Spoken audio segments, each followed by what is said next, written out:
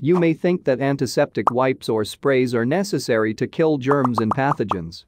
But there's actually a metal that kills germs on contact, no cleaning supplies necessary. This is the copper. A material that cultures across the globe have recognized as vital to our health for more than a thousand years. The recent research on coronavirus done by the New England Journal of Medicine found that copper got rid of the virus on its surface within only 4 hours, which is the fastest among all other surfaces in the test.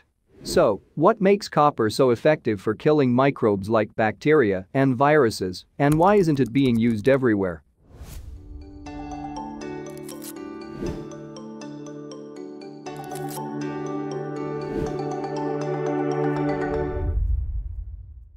The use of copper for health purposes dates all the way back to ancient Egypt.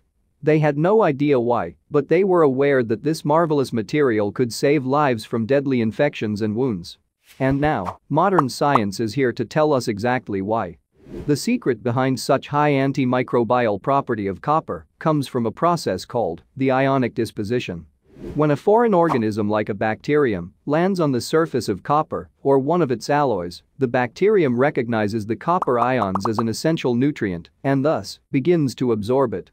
However, as more and more copper ions enter the cell, the ionic dose becomes lethal.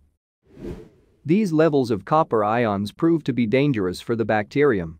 It destabilizes the cell's electrical microcurrent, the transmembrane potential, and effectively short-circuits the bacterial membrane.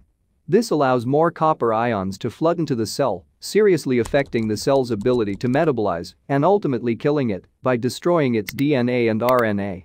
It can sometimes even achieve this process in mere minutes. The list of microbes it can kill is truly impressive. Including MRSA, E. coli, norovirus, coronavirus, and antibiotic-resistant strains of staph. Copper is a hardcore microbial murder machine. During this current COVID-19 pandemic, a careless touch of the wrong surface can put your health in serious jeopardy. But on a copper surface, the virus rarely live long enough to do any harm. So, what is preventing us from using it at all places? The answer is cost. It's also harder to maintain than materials like steel, plastic, and glass. Copper can tarnish and lose its coloration over time. The researchers still argue that an investment in copper is a lifelong investment. It never actually loses its antimicrobial properties, even when it oxidizes and takes on a green color. Now we can probably only hope that the world's governments get over their aesthetic-based metal discrimination and change their minds.